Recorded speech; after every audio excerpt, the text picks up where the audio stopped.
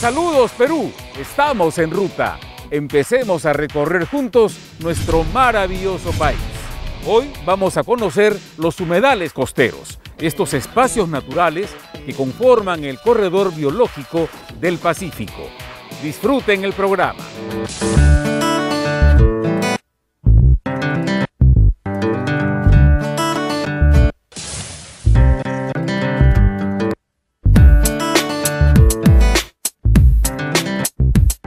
Muchas veces hemos pasado cerca de ellos sin imaginar lo importante que son y la gran diversidad de flora y fauna que albergan. Son los humedales costeros. Este es el paraíso, ubicado en la región Lima, provincia de Huaura, distrito de Huacho, costa central de nuestro país. Tiene una extensión de 690 hectáreas, de las cuales sus dos lagunas abarcan 250 hectáreas un extenso manto verde paralelo entre los desérticos cerros y el litoral. Vamos a detenernos ahora para observar con cuidado lo que aquí acontece diariamente de manera discreta, en un silencio solo interrumpido por el graznar de las aves.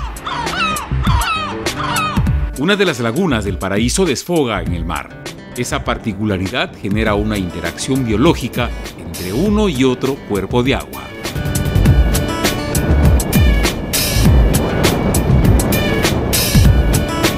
Este es el desfogue de la Laguna Sur. Tiene la particularidad de estar conectada con el mar a través de este desfogue de un caudal importante de agua.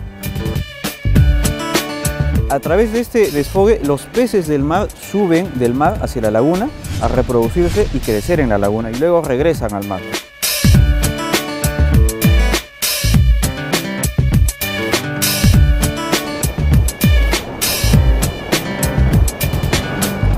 Algunas, como las gallaretas, se dejan ver con relativa facilidad.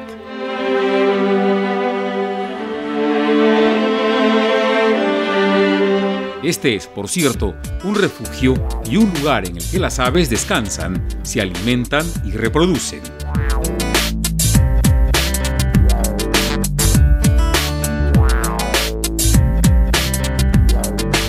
Bandadas de llanabicos, ibis de la puna o ibis negro van, alborotados, de un lugar a otro en vuelos rápidos.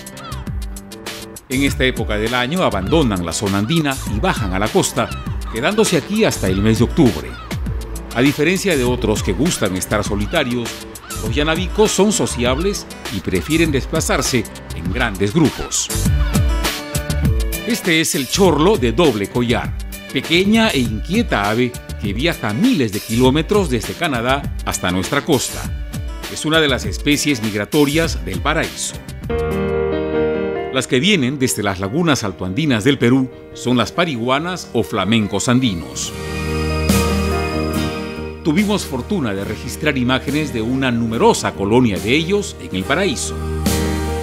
Estas aves mayores llegan a medir hasta un metro veinte centímetros de altura con sus patas y largo cuello, lucen esbeltas. Están adaptadas para alimentarse hurgando el barro. Son animales nerviosos. Perciben nuestra presencia y al sentirse amenazadas se alejan pronto de la orilla a grandes zancadas. Es una especie en situación de vulnerabilidad, entre otras razones, por presentar una baja tasa reproductiva. Solo ponen un huevo por nidada y los frágiles polluelos muchas veces no resisten las duras condiciones climáticas de su hábitat. Abandonan la puna y llegan aquí para descansar, alimentarse bien y fortalecerse. Una vez que han recuperado vitalidad, regresan a los Andes para reproducirse. Son animales hermosos que llaman la atención por su plumaje blanco y rojo. Siempre estuvieron en esta parte del planeta los textiles plumarios elaborados por culturas del antiguo Perú son testimonio de ello. Han transcurrido siglos desde que fueron entorchadas en paños de algodón, pero sus plumas no han perdido el color y el brillo. Las pariguanas van erguidas, desplazándose en calma y con elegancia. Cuando por instinto creen que el peligro es inminente, alzan vuelo para protegerse.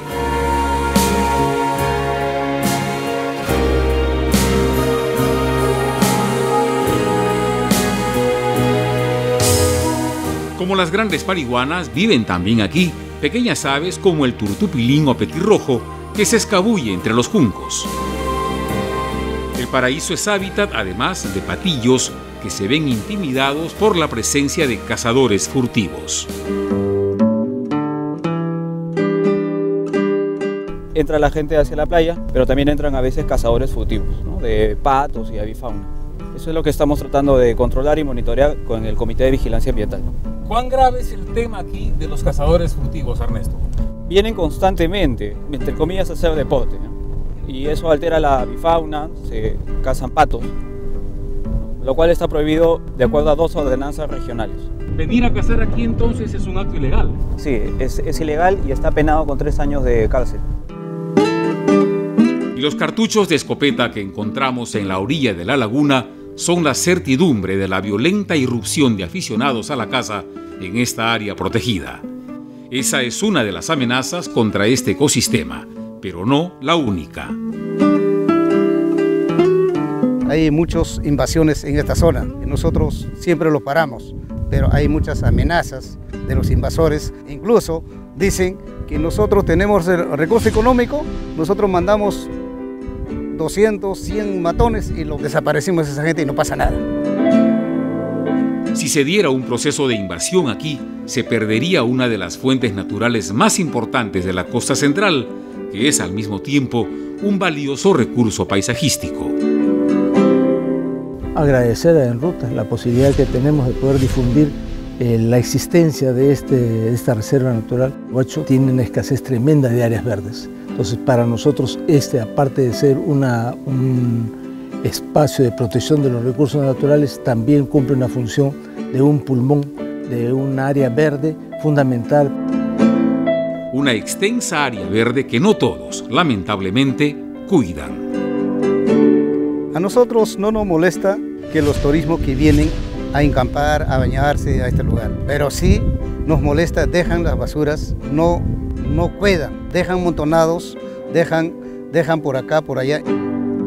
Basura que ensucia y contamina y que los miembros del Comité de Vigilancia Ambiental deben recoger. Es un trabajo coordinado y armónico entre el gobierno de la región Lima, la Comisión Ambiental y los comités de vigilancia ambiental.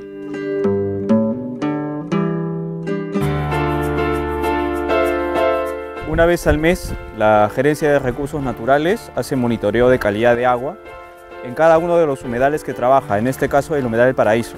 Muestreamos parámetros eh, como eh, conductividad eléctrica, oxígeno disuelto, temperatura y pH para ver la calidad del agua ¿no? y cómo, cómo cambia a lo largo del año. Temperatura 22.5 grados centígrados, oxígeno disuelto 12.94 miligramos y pH 8.68. Los resultados dicen que el agua del humedal está dentro de los parámetros normales de calidad del agua y es un ecosistema saludable. El paraíso es un ecosistema saludable porque está alejado de asentamientos humanos, así de claro.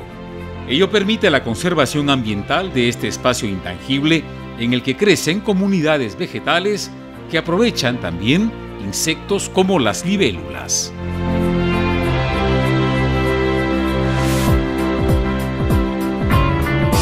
Cerca al mar están las resistentes coriáceas, propias de los saladares húmedos.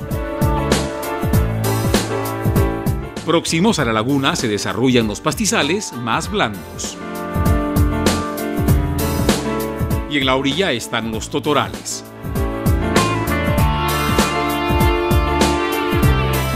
Una planta rastrera de erectas ramas rojas destaca entre el verde. Es la salicornia. La salicornia es una planta muy nutritiva que existe acá en los humedales. Es resistente, suculenta y es nutritiva. Se puede utilizar como alimento. Tiene un saborcito un poquito salado, pero eh, en salteados o en ensaladas se puede consumir. La salicornia es una planta muy nutritiva, comparable a la quinoa. Cada especie ocupa determinado nicho ecológico del humedal para reproducirse. Mientras que el cormorán guanay o guanay simplemente anida en los juncales o en los totorales, Las gaviotas lo hacen en los gramadales. Sus simples nidos están al descubierto. Aquí ha anidado una comunidad de gaviotines peruanos. Algunos huevos ya eclosionaron. Otros todavía se incuban. Las aves se alertan sobrevuelan graznando fuerte e incesantemente para alejarnos de su territorio. Buscan preservar la continuidad de su especie. Las gaviotas tienen mayores posibilidades de supervivencia porque pertenecen a ese grupo de aves llamada generalista. Es decir, se alimentan no solo de peces, sino también de polluelos de otras aves y de la placenta de los lobos marinos, por ejemplo. No tienen mayor problema en procurarse alimento como ocurre, contrariamente, con las aves guaneras. Todas nidifican en el área silvestre zona silvestre que es exclusivamente para vida y reproducción de la fauna y flora silvestre del humedal. Aquí estamos, por eso estamos con mucho cuidado, ¿no? observándolas con atención y vemos que en realidad hay gran nidificación de aves, mucha actividad. La expansión desordenada de las ciudades es un reto para las autoridades respecto al cuidado de los humedales, al punto que todo esfuerzo parece insuficiente. Todos los años tenemos un programa presupuestario que eh, nos permite también tener actividades en, estas, en estos humedales en toda la zona costera, tratando de monitorear el tema de la calidad del agua y también la preservación de la fauna y flora silvestre. Hace 5.000 años, quienes habitaron el hoy sitio arqueológico de Bandurria aprovecharon el humedal paraíso y sus recursos hidrobiológicos para alimentarse. También emplearon la fibra vegetal, totora y junco, para dar consistencia al barro que unió las piedras de canto rodado en sus construcciones. Edificaciones que siguen ahí, sobre el humedal.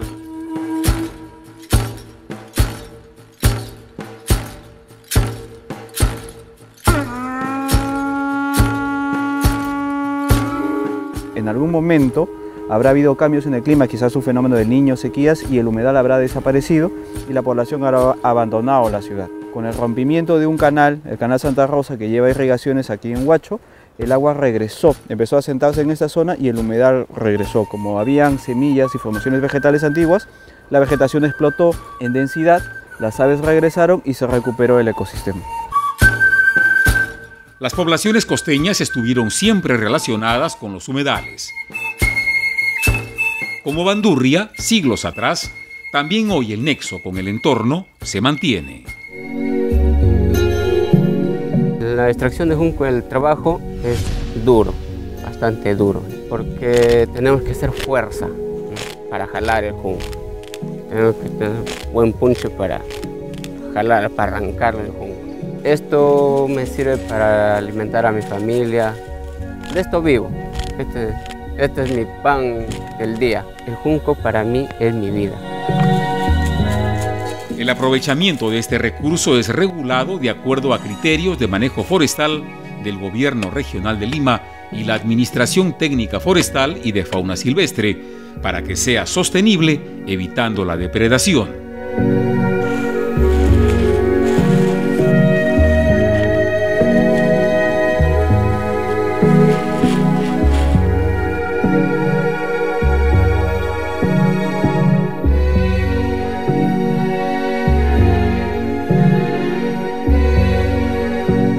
El junco que Constante extrae demora 8 días para secar en verano y el doble de tiempo para secar en invierno.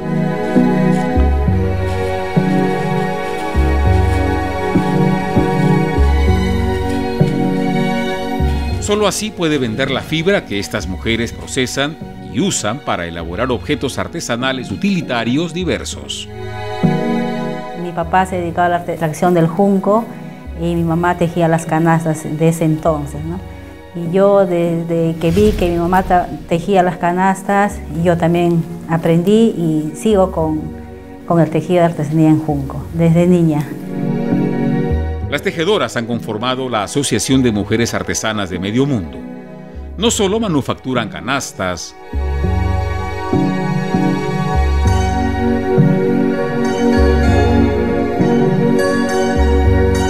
bolsos,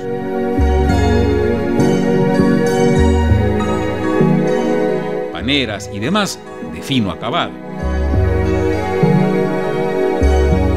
También mesas, sillas, esquineros y sillones. Necesitan trabajar más para mejorar su economía y ello será posible si tienen demanda.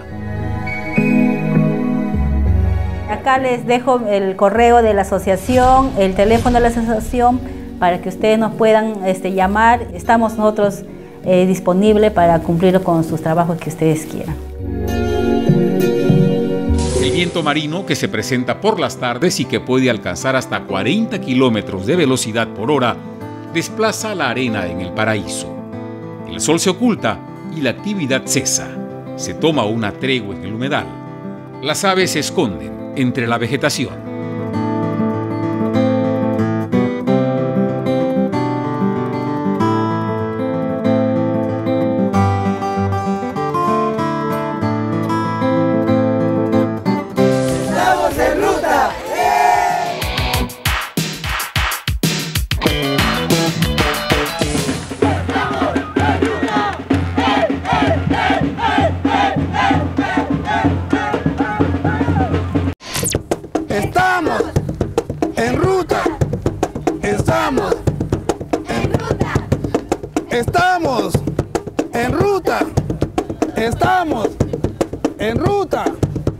¡Estamos en ruta! ¡Estamos en ruta!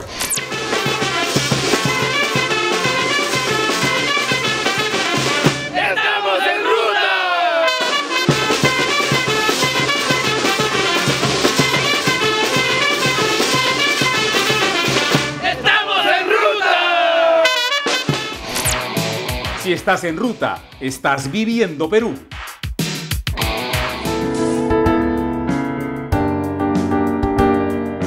En el kilómetro 175 de la Panamericana Norte se ubica la albúfera de Medio Mundo, otro importante humedal de la costa central peruana de 687 hectáreas de extensión con un gran espejo de agua de 203 hectáreas. El acceso a esta área de conservación regional es sencillo. Se ha habilitado un mirador para poder apreciar su belleza desde un punto alto sin perturbar la tranquilidad natural. Si lo desea, puede pasear en bote pagando 15 soles por el servicio en un recorrido de 30 minutos. Créame que lo disfrutará.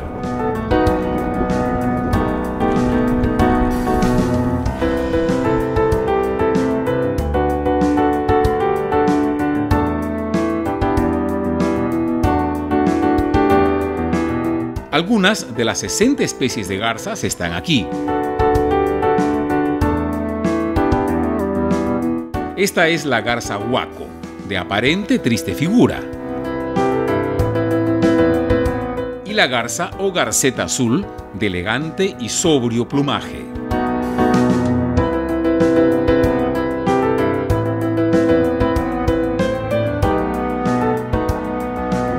Las garzas son animales extremadamente territoriales. Ello explica esta conducta.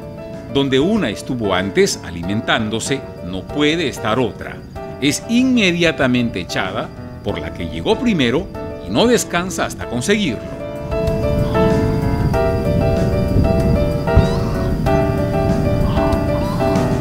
En algunas ocasiones, las garzas se convierten en presa de algún halcón peregrino que incursiona en el humedal en busca de alimento rayador americano o pico tijera vuela sobre el humedal en busca de peces o insectos para alimentarse, con la mandíbula inferior rozando el agua, con el pico en tijera y como si rayara la superficie. De ahí su nombre. Sus grandes alas le permiten un delicado vuelo. Otra ave grácil y distinguida es la cigüeñela. Cada picotazo es un alimento que va al buche sus movimientos son firmes, seguros y precisos.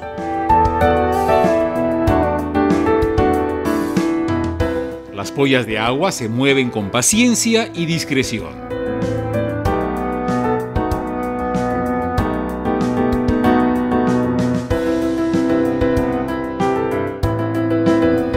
No así los menudos y bulliciosos playeros.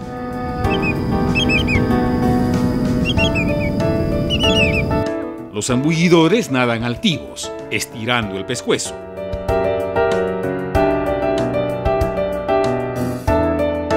Un poco más allá, esta ave que ya sació el hambre acicala sus plumas con su largo y curvo pico.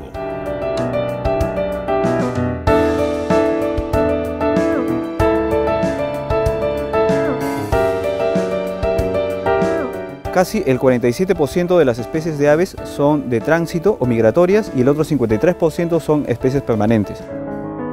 Desde Bandurria, hace cinco siglos hasta hoy, seguimos interactuando con los humedales.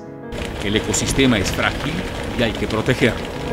Los humedales se forman y nutren también con agua que viaja por gravedad desde la puna, penetrando la napa freática. Humedal se alimenta de agua de filtración que viene desde la sierra, ¿no? por las lluvias, y poco a poco llegan a la costa. El agua demora cuatro meses en llegar desde la sierra por filtración y aflorar en la costa. El agua dulce aflora y el agua de mar ingresa al continente empujando el agua dulce hacia la superficie. Por eso es que los humedales tienen agua dulce o medio salobre.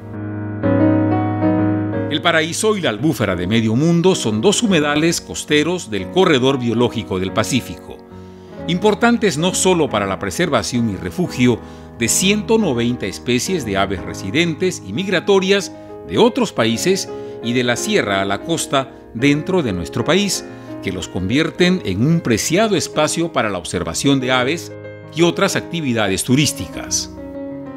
Son también valiosas en lo económico para las comunidades asentadas en su entorno.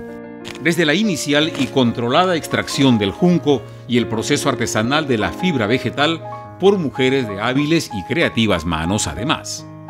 Queremos pedirte que transmitas a los turistas que cuando vengan al área de conservación regional tengan mucho respeto con la naturaleza, con las especies de aves y con la fauna, que hagan un manejo adecuado de sus residuos sólidos y que traten con, con cariño este lugar. Tomando en cuenta estas recomendaciones, podemos viajar a Huacho a 13 soles el pasaje en bus. Si ven movilidad particular, considere 12 soles con 60 para el pago de peajes por el uso de la vía. Y si busca tranquilidad, tiene el Hotel Casablanca.